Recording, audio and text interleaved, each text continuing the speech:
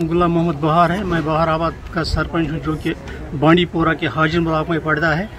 हमने ये जो टूर किया है, आज ये हमने पंजाब तक किया है। पंजाब में हमने बहुत कुछ देखा है, बहुत कुछ सीखा है। पंचायत बॉडी, पंचायत जो राज है वहाँ, उन्होंने क्या किया है तो इससे इसे हमने बहुत कुछ सीखा है। इसी तरह से हम अपने पंचायतों में, अपने हलकों में डेवलपमेंट करेंगे जो हमने वहाँ देखा है, जो पार्क हमने बनाए और जो ज़मींदारों से एक एक दो दो मरला ज़मीन इकट्ठा करके एक प्लाट बनाया है जिसको वो किराया पर देते हैं ठेका पर देते हैं उससे जो पैसे आते हैं वो इसी पंचायत में खर्च करते हैं उससे बहुत अच्छी डेवलपमेंट उन्होंने की है।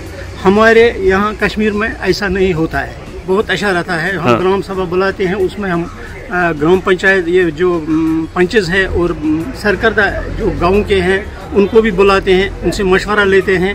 तो उनके मशवरे से ही हम ग्राम सभा बुला के हम उनको उनसे ये मशवरा लेंगे कि कौन कौन सा काम करना है कैसे करना है उनसे यही मशवरा हम देंगे हम्म। हमारे जैसे हमने वहाँ पार्क देखे हैं पार्क जो उन्होंने बनाए हैं वो और क्या देखा और वो बहुत कुछ सारा बहुत कुछ देखा है तो वो हम यहाँ कह रही हैं सरपंच को मैं ये मैसेज देना चाहता हूँ कि वो दिलो जान तन मन से अपने इलाके अपने हलकों का काम करें डेवलपमेंट करें लोगों को लोगों की जो परेशानियाँ हैं उनको दूर करें जो काम है उनके वो बड़ी अच्छी तरह से निभाएँगे चलिए शुक्रिया शुक्रिया।